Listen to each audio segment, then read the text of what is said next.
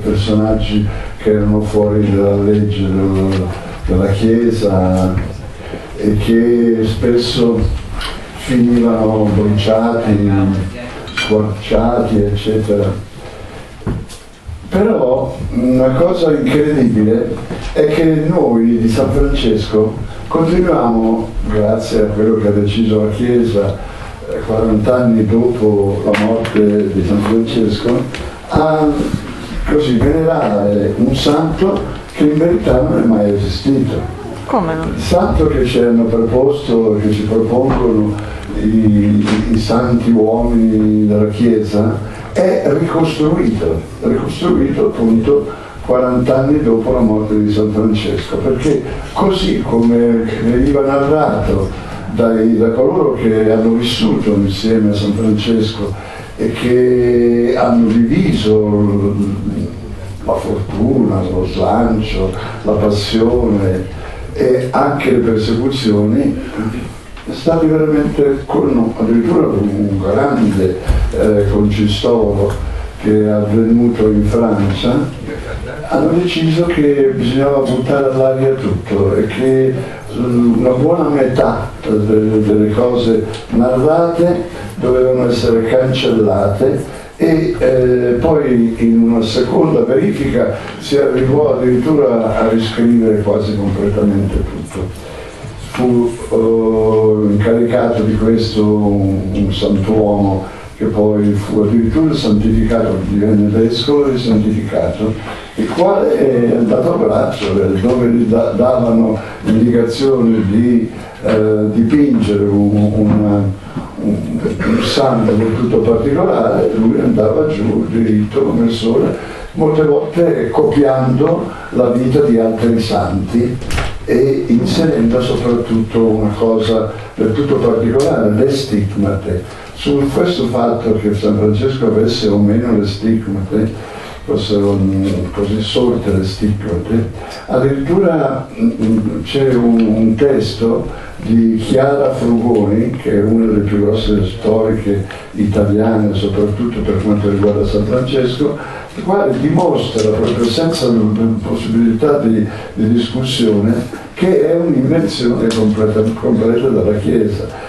e che durante il tempo in cui viveva San Francesco e verso la sua fine soprattutto dove eh, cronisti seri avevano dato indicazioni di quello che era il suo termine della vita, non esiste assolutamente nessun accenno a queste stigmate, ma poi ci sono, non sto adesso a raccontarvi tutto il testo, ma questo è, è normale per la Chiesa, cioè quello di mistificare, non, non, non sto facendo l'anticlericale, in un certo qual modo io sono a, a, a mia così a mia maniera sono religioso, cioè mi interessa la religiosità del popolo, quelli che sono i suoi riti, la sua partecipazione, suo, la sua curiosità di immaginare quello che c'è dopo, una vita eh, all'aldilà con santi oppure eh, con, con, bellezza straordinaria di piaceri e di,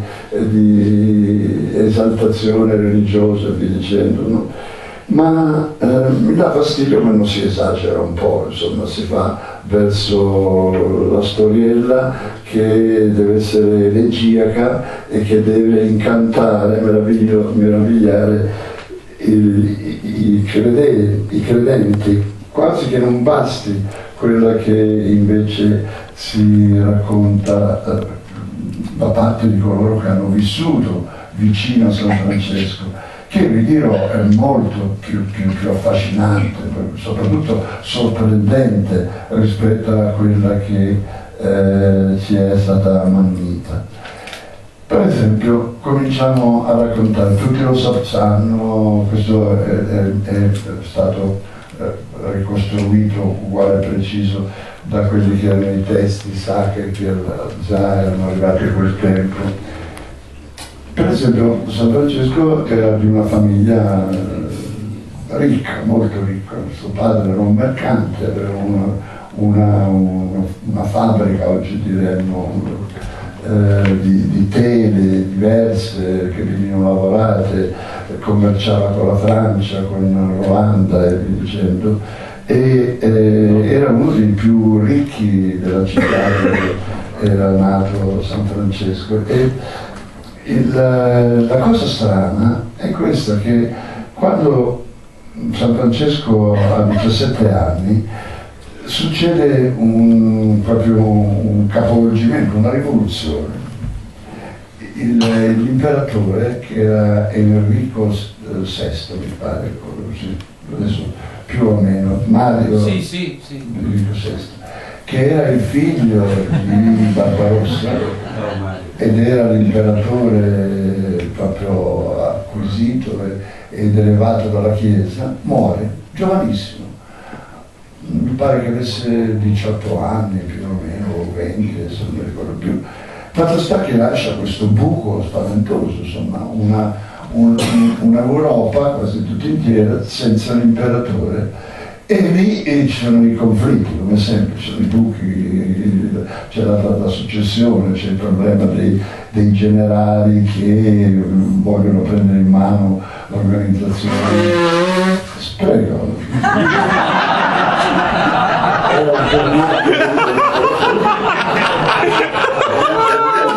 Basta che le cose siano puntuali.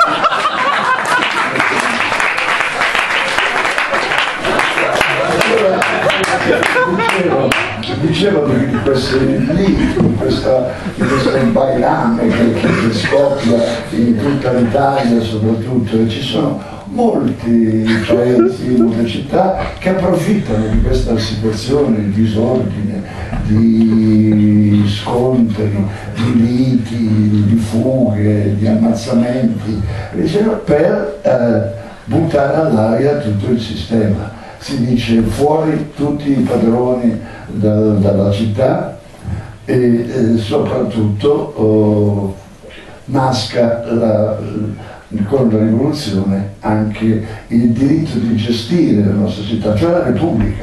Nascono i comuni di nuovo che erano stati eh, naturalmente cancellati dai nobili e dalla borghesia nascente. Fatto sta che eh, per esempio mh, la città che sta vicino a, a 30 km di qua, e come si chiama? Gubbio. Gubbio? No, no, non Gubbio, non sono... Assisi. Assisi. Assisi. Mario! Mario!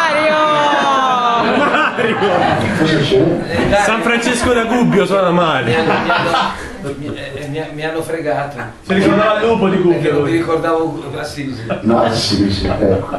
Assisi, dove, perché ho nominato Assisi? Ecco, Assisi viene, viene eh, presa proprio mano militare dai, dai, dalla gente del luogo, che non erano soldati, non, rubano le armi ai soldati eh, che in quel momento si erano allontanati dalla, dal centro per vedersi alla, al, al luogo dove c'era la grande riunione dell'esercito, non si erano portate tutte le armi che avevano, fatto sta che questi una volta armati eh, non permettono più ai soldati che stanno tornando appresso eh, nella città di rientrare, la bloccano e, e soprattutto fanno un gesto che era classico di quel tempo e che purtroppo a scuola non ci viene mai narrato, non ho capito perché, ma lo scopriremo. Eh, abbattono tutte le torri le torri, ogni, ogni torre era il simbolo di una casata e quindi i padroni, i padroni avevano la, la, propria torre vicino al palazzo, vicino al palazzo e eh, tutte le città, si, racconta per esempio che Milano avesse eh, addirittura 60 torri, tutti in una retrato, che Genova ne avesse altrettante, ma la città che in Italia aveva più torri era, uh, erano due, una era Firenze e l'altra che... che Bologna! Eh? Bologna, brava, brava, brava. Bologna è una città veramente eh, che, che pullulava di, di... Ecco, eh, cominciarono in quasi tutte le città italiane a buttare gente, le buttavano giù non avevano mica eh, il tritolo o altri esplosivi. E quindi a mano legavano centinaia di, di, di, di mh, eh, corde alla, alla cima e a strattoni con centinaia, anche di più, di giovani, di uomini che si appendevano a queste corde e tiravano insieme e la corda, il, la, il, la torre crollava. Ecco che l'abilità era quella di evitare di, di rovesciarsi addosso eh, la torre per intero, quindi c'era un capo che eh, dava gli ordini e che dava i ritmi per potersi anche staccare nel momento in cui era pericoloso, poi eh, facevano la seconda parte e poi abbattevano la, la, la finale naturalmente con, con delle leve e via dicendo. Questa operazione che in, nel dialetto del, di, di, di, di, Umbro si dice scarruccata, scarruccare significa buttare giù una torre. In questa operazione c'era dentro anche Francesco, Francesco ragazzo, avevo detto che aveva solo 14 anni, che partecipava, cioè si era messo dall'altra parte perché dico, eh, i, i, grandi mercanti, i ricchi, la borghesia nascente, eccetera, stava sempre vicino a quello che era la posta, il, il potere e, e gestiva insieme ai nobili e agli aristocratici il fatto di vedere un giovane che, che è um, figlio di, di, di, uno degli uomini più ricchi della città, che si butta dall'altra parte e, e che eh, realizza un, un, gesto così palese, di contrario, di opposizione e di rabbia, di rancore, di liberatorio anche verso tutto il, il, il possesso e soprattutto eh, l'imposizione che i nobili davano o, o, realizzavano sui poveri cristi, sui minori, beh, è un, un fatto già che sorprende. Tutta questa scena che invece io ho dipinto anche qui fuori, c'è un, una, un dipinto dedicato a San Francesco, è stata cancellata completamente, ca completamente proprio tirata via dalla storia, dalla prima storia che noi eh, avevamo allora, cioè a noi non è arrivata, poi si è ricomposta. Quasi tutte le storie che più importanti sono tornate di nuovo a, a galleggiare. Ad ogni modo, andiamo per ordine. Questa storia non, non la incontrate assolutamente. San Francesco in quel momento andava per funghi, ma non andava per, per, per eh, così, le torri che, che, che, che calavano e soprattutto non c'è neanche un'altra cosa che accadde a San Francesco. Evidentemente durante la, la, la, la scarruccata eh, eh, cadde male, arrivò eh, rovesciato dentro le, le, le, le scale eh, eh, a tomborroni, come si dice in Lombardia, e lo, lo, ripresero in mano e questo non, non, sembrava morto, insomma, era svenuto, lo portarono a casa dalla madre e il, i rumori, i frastuoni, le pietre eh, lo facevano sussultare eh, in ogni momento perché continuava, mentre lo portavano a casa c'erano ancora le torri che cadevano, eccetera, eccetera, e lo misero in una cantina perché lì i suoni che arrivavano dall'esterno erano molto più ovattati e poteva stare. Quando, quando eh, si dice che quando eh, così ritornò in piedi, andava intorno un po' allocchito e eh, aveva gesti di simpatia verso tutti i piccoli animali che venivano intorno, si accorgeva non di tutto di, di questa città ormai eh, piena di polveri e, con eh, pezzi di, di, di, pietre che scivolavano dappertutto, ma mh, i piccoli uccelli, i, i, le le, le, le oche, le anatre che passavano e via dicendo, aveva parole di simpatia, e soprattutto per le formiche che guardava e le seguiva e poi eh, camminando presso a loro eh, ogni tanto si fermava e le ho schiacciate quasi tutte. Questo era una delle favolette che si inserivano. Io nel- proprio nella prima versione che ho fatto di, di questa opera, che eh, sta a memoria come me, recita molto bene anche, anche Mario, ebbene raccontavo proprio di questa storia, ma un'altra raccontavo subito, che è quella delle- di Francesco è passato quasi un, un anno di tensioni, di scontri, naturalmente i nobili, gli aristocratici, la borghesia voleva rientrare nella propria città, riprendersela, c'erano degli scontri di eserciti, non molto numerosi ma sempre importanti, che si incontravano, c'erano morti e lui si trovò a combattere dentro l'esercito appunto della Repubblica e eh, in un posto che è proprio qui vicino, che si chiama Ponte Pattoli, è detto giusto? Ponte San Sa- Giovanni. Pan- Ponte San Giovanni, ci sono sempre un sacco di, di luoghi che si chiamano Ponte dell'Italia.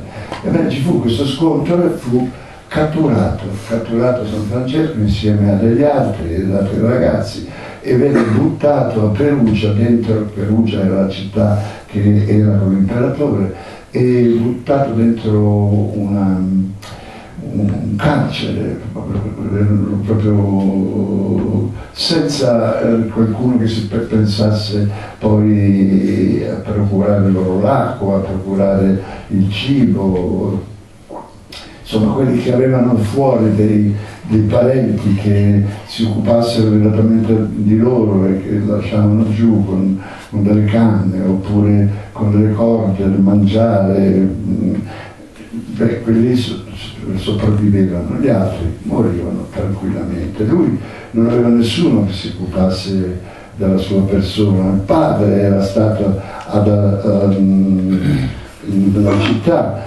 e aveva, era andato da suoi amici che erano mercanti come lui, da nobili, poi era andato anche dai giudici, aveva cercato anche di corromperli, aveva denaro, ma non c'era niente da fare. Nel Medioevo i giudici non si facevano corrompere. È per questo che lo chiamano tempo buio.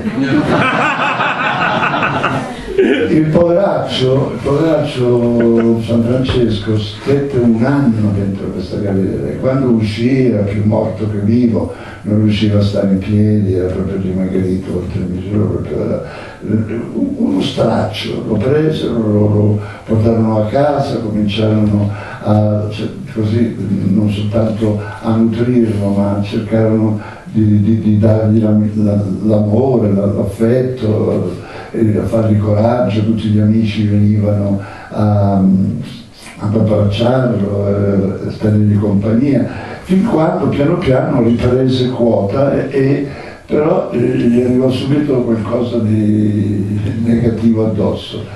Nel frattempo era rientrata in città tutta l'organizzazione che era legata al- all'imperatore, i nobili, gli aristocratici che avevano ripreso finalmente i loro territori e imposero costoro che i giovani o gli uomini che avevano abbattuto, che erano ben conosciuti, che avevano abbattuto la- le torri, non importa a che ceto eh, fossero legati, dovevano ricostruirli. E allora il povero San Francesco, che già stava con difficoltà riprendendo quota, ecco che si ritrovò a lavorare un mestiere che non conosceva. Era intelligente, soprattutto chi non, non si dava da fare veniva frustrato e, e dovette suo malgrado con tutto che era figlio di personaggi importanti dicendo, non c'era niente da fare, dovette lavorare per un altro anno per eh, ricostruire queste, queste torri. E lì eh, imparò intelligente com'era, imparò a fare il muratore, non soltanto, ma cominciò anche a capire la, il rapporto delle tensioni, delle, delle, delle contrapposizioni, diciamo di tensione architettonica, quasi un capomastro, insomma, diventa. Finita la sua così il suo dovere imposto, ecco che esce, gli amici, eccetera, di distrarlo e eh, danza, eh, fa cose un po' pazze di notte, si ubriaca, va a donne, ragazze e, e lì una notte, tornando quasi all'alba, eh, sentono battere delle pentole ed era il segnale che dei, della gente ammalata di come lebrosi Dario eh? lebrosi lebrosi, sì. Lebrosi eh, che erano centinaia, che non potevano mai passare nelle città quando c'era gente di giorno, ma le attraversavano quando era notte sì, e anche i transiti li facevano. E questi lebrosi che venivano avanti dando il segnale che stavano passando battendo queste pentole. Lui è allocchito da, da questa, queste figure che vengono avanti e non riesce neanche a muovere, a scappare come gli altri suoi compagni di avventura che se lo danno a gambe, lui rimane lì e gli passano vicino, eh, c'è un, un giovane che cade per terra ai suoi piedi è molto ammalato, pieno di piaghe, lui lo prende, lo porta a casa propria e mm, chiama un medico, eh, il medico dice non c'è niente da fare, all'ultimo stadio della sua malattia, lui rimane lì vicino, lo cura, muore. E questa morte gli causa un, un, una, una, disperazione, un, un dolore incredibile. E, fugge, fugge su, sulle montagne che ci sono qui dietro, insomma, e, rimane dei giorni, non lo trovano più, lo cercano e, e poi eh, finalmente qualche cacciatore che gira nelle montagne o i contadini eh, danno il segnale e finalmente lo ritrovano dentro un, un foro della montagna, un taglio della montagna, che vive così allocchito, pieno e piange. Allora lo portano a casa, ecco, tutta questa storia che è stupenda, via, tagliata anche questa. Poi vi chiederete ma che razza di storia si racconta se togli via le cose più importanti, quelle che hanno determinato in lui una, uno stravolgimento, un pensiero diverso da quello che, che era la sua condizione, soprattutto di, di, di ragazzo con tutte le possibilità e, e i mezzi per poter vivere serenamente anche con grande allegrezza. Bene, quando torna nella società è un po' strano, c'è quell'incontro molto bello con, con, Cristo, lui vive dentro una chiesa, chiesa scarruccata, anche quella, ci manca addirittura l'ingresso, è crollato, c'è l'abside che è forata, i tetti sono messi proprio male e lui che si inchina a, a, a raccogliere delle pietre buone ancora, ormai è rimasto dentro il tavolo eh, positivo questa volta del costruttore e sente una voce che dice lo chiama Francesco. Francesco si volta intorno non vede che dice poi finalmente vede che chi parla è un crocifisso che è appeso al muro. Francesco, ricostruisci la mia chiesa. E, lui dice, sì, sì, senz'altro, cercherò di farlo. Ma come fai a sapere che io sono curatore anche? Non si può tenere niente di nascosto qui, detto sei Gesù. E poi comincia a lavorare, chiama degli amici, chiama eh, dei muratori, ha i soldi, quindi li paga perché lo aiutino, ma lui non aveva capito l'indicazione che dava Gesù. Lui pensava che, che Gesù parlasse della Chiesa, le mura, il tetto, la struttura. Invece Gesù chiedeva che fosse costruita completamente la sua Chiesa. Ed è, qui c'è uno, una connessione eh, su quello che si aspettano i cristiani da questo Papa che si chiama Francesco. E qualcuno ha ricordato questa scena del dialogo che in certe storie è rimasta come, come un, un, un, un lascito quasi della storia originale. Costruisci, ricostruisci la mia chiesa. Andiamo avanti ancora e c'è tutta la storia stupenda di lui che a un certo punto decide di lasciare questo modo di vivere, si eh, libera dei, degli abiti in chiesa, si spoglia di tutto quello che ha ricevuto, i soldi, tutto, e li getta alla madre che piange disperata è un'altra vita che mi aspetta, dice, non piangere, io sarò felice e tu devi leggere la mia felicità e ridere per la mia felicità. Anche questo piccolo passaggio tagliato. E eh, comincia a, a, muoversi da solo all'inizio, poi c'è qualche giovane che gli viene vicino, qualche amico, vive un po' con lui eh, pensano tutti che sia un pazzo, ma lui è divertente, ride, fa capriole, eh, fa scherzi, gioca, eh, racconta storie ridicole di diavoli che eh, si sbattono la testa una contro l'altra, poi racconta del Vangelo e racconta le storie più buffe, più, più ironiche, più impossibili del Vangelo. E la gente eh, va ad ascoltarlo. Era un grande fabulatore, infatti lui di se stesso a un certo punto dice io sono il giullare al servizio di Dio. Naturalmente anche tutto questo che vi sto dicendo viene cancellato, no?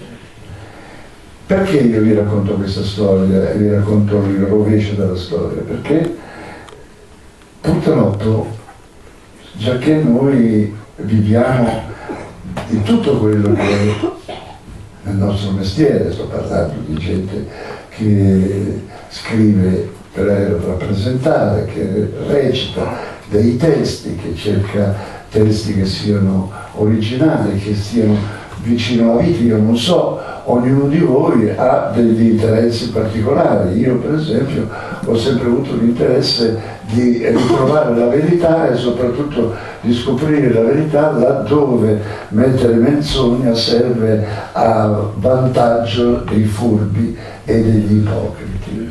Questo è stato il mio intervento, cioè ricostruire quello che è una via pulita, chiara, limpida, se era possibile, e eh, scoprire soprattutto ogni volta che eh, la realtà, quella che è stata nascosta, è la parte più bella, più, più, più d'arte, insomma, legata alla fantasia, all'emozione e molte volte alla onestà, alla chiarezza, alla giustizia.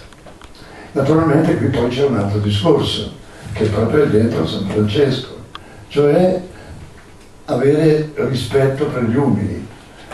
Io non sono un francescano, non sono, però sento bisogno spesso, io e Franca, di intervenire laddove ci sono delle situazioni disperate, siamo andati in centinaia di eh, luoghi eh, dove la gente aveva occupato una volta la casa per poterci abitare, una volta la fabbrica perché non volevano essere buttati fuori, in altre volte addirittura parti della città perché si, si intervenisse da parte dei comuni a mettere a posto e soprattutto e rendere degno il luogo dove si abitava. E poi eh, ci siamo preoccupati della gente ammalata, degli asili infantili distrutti, dicendo. Ma non, non, pensiate che io adesso vi racconto eh, per dire quanto sono buono eh, e preoccupato molte volte faccio anche io fatica ad accorgermi e vengo sollecitato ad intervenire, a rendermi conto, a partecipare a, civilmente alla trasformazione di cose che ci sembrano indegne. Va bene, ad ogni modo è per questo. E io spero che anche in voi, non in tutti, ma insomma, non si può avere il meglio, ma dico, in voi ci sia questo, questo desiderio di giustizia, perché è proprio un fatto di giustizia il fatto di, che in una società non, non, ci siano i disperati. Oggi come oggi poi che i disperati sono a caterve e che ci sono delle persone che si suicidano perché non hanno più la possibilità di uh, sentire la dignità, non soltanto perché non hanno da mangiare, ma perché sono ridotti al minimo di rispetto a quello che è la, la dignità di un uomo. E poi sono perfino dei piccoli imprenditori che con la disperazione di non, di non poter dare eh, lavoro, denaro e sopravvivenza ai propri operai, ugualmente si ammazzano. E eh, di là eh, abbiamo una classe eh, che, che, ci gestisce, soprattutto quella dei, dei politici, che eh, non soltanto rubano, eh, fanno trucchi, eh, proprio distruggono anche la dimensione minima della onestà e della chiarezza e forse sperano che con quello che sta succedendo cambi, cambi velocemente questo linguaggio e questo modo di concepire il rapporto, la vita e soprattutto la, la dimensione civile del, della nostra vita. Va bene, mi fermo qua perché se no mi metto...